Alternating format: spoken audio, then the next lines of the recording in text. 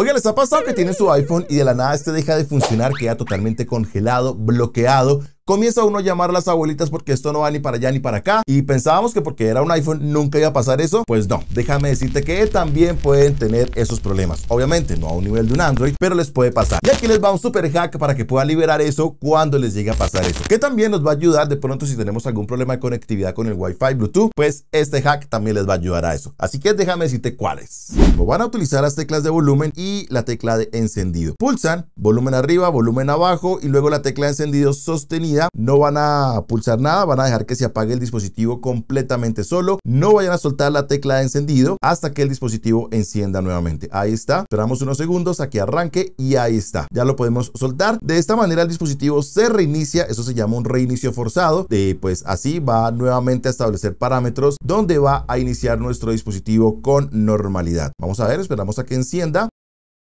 Y listo ya nuestro dispositivo no está bloqueado, no va a tener problemas y ahí está funcionando correctamente. Cuéntame, ¿ya sabías de este hack o pensabas que tu iPhone nunca se iba a bloquear? Házmelo saber en los comentarios.